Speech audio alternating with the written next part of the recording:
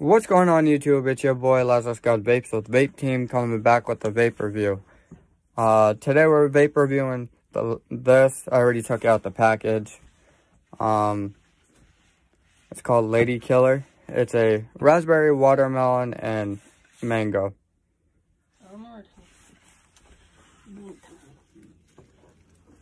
2,500 puffs and like 6 milligrams of nicotine.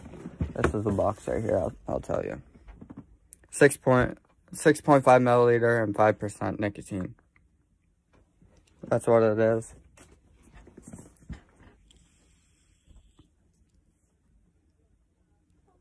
Lady Killer.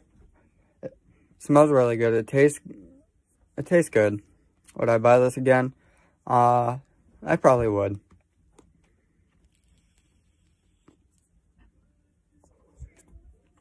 Scale 1 to 10, I'll give it a 8.5.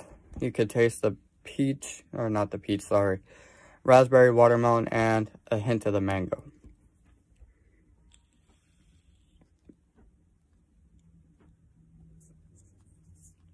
Not a bad flavor.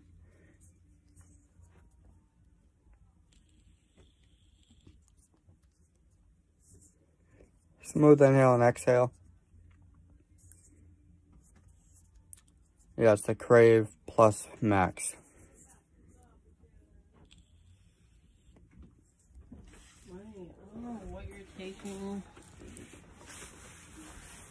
Sorry.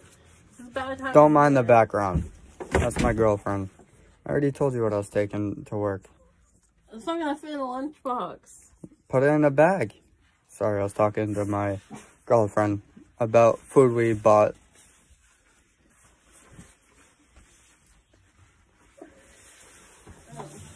But this is not a bad flavor.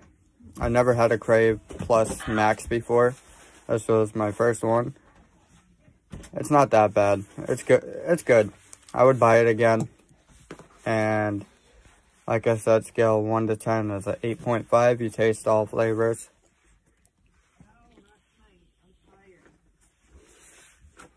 But anyways, uh, hope you enjoyed the video. Don't forget to like, subscribe, comment what we should vape review next.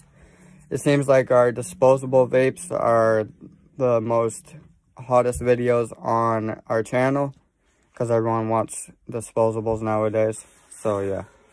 If you like raspberry, watermelon, and mango, I highly recommend this. And I'll give you two more puffs off of it.